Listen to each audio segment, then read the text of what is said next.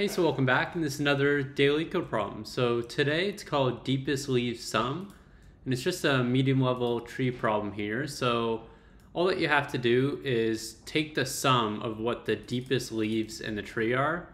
And so in this case, like there's these, um, oh no, there's three leaves here. The number seven, five, and eight. So what a leaf is, is just when they're kind of the bottommost node in the tree where they don't have any children, so there's no descendants of these nodes. And so the trick here though is you're outputting 15, and that's because you're actually excluding this one. You're only adding the sum of these two nodes here. And that's because you want the deepest leaves. And the depth of the tree kind of goes down this way, where this one would have a depth of four, while this one only has a depth of three. Now, it, it, it depends. Some, some people say that the edges is really the depth, not the number of nodes. I prefer counting the nodes, but everyone's different. But regardless, all that matters is that you only include in the sum kind of the, the lowest um, leaves in the tree. So this one doesn't count because it's not part of that group. Okay, so to do this, what we're going to do is use a breadth first search or level order traversal. And that's just by going level by level downwards and it's just a very intuitive way. If you thought about using like depth first search, it can be a bit trickier.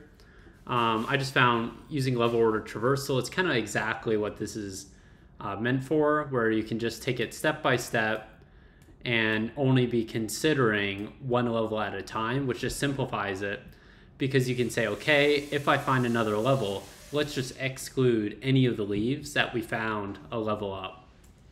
Okay, so to do that, we can just kind of do like a um, kind of blueprinted, uh, typical uh, depth first search approach. So this is kind of the templated implementation you might do whenever you're solving a, a depth first search problem. And so to do that, when you're using depth first search, you need a queue. And so let's go ahead and import that from our collections library. And we use the double-ended queue called deque here. And so with that, we can just define our queue and we're just going to want to first throw in there our root node that's provided to us. And we just want to continue iterating while we have something on our queue. But at the end of this, we're going to want to return some result, some total sum that we're calculating. And so let's throw that right here.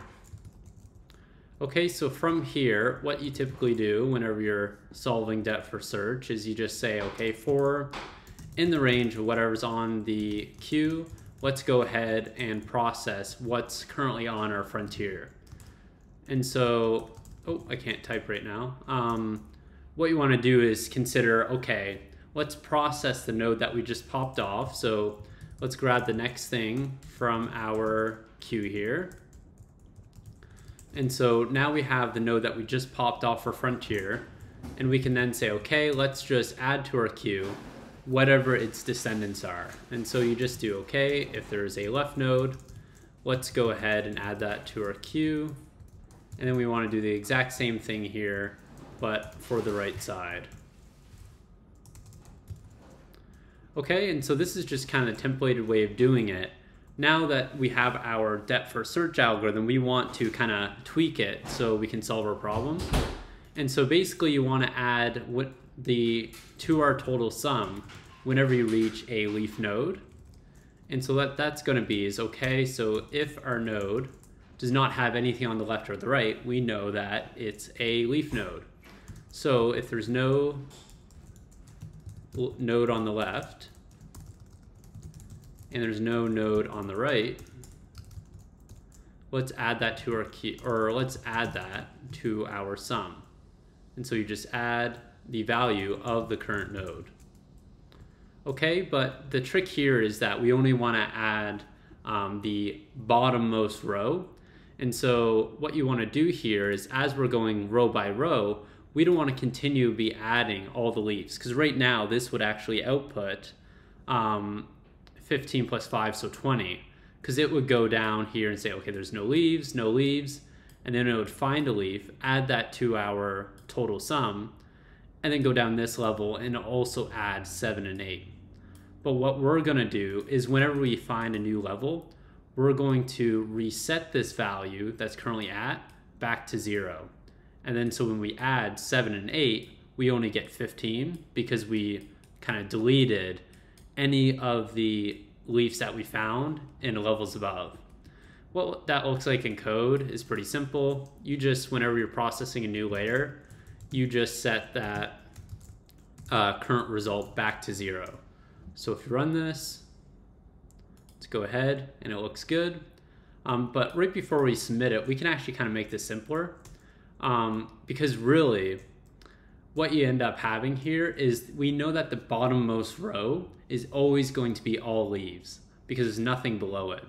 And so because we know that, we don't really actually have to check whether or not the current node that we're processing is a leaf or not. And so you can actually just delete this.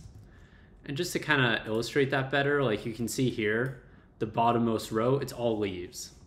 And in this case, oh, I think there's, yeah, there's only one uh, kind of drawn example. You might be able to view it this way. Yeah. And so the bottommost row here also only has leaves. So you don't really have to check whether it's a leaf or not. Um, just adding the values is enough. So let's go ahead and submit it and success. So yeah, I hope that helped and good luck with the rest of your algorithms. Thanks for watching.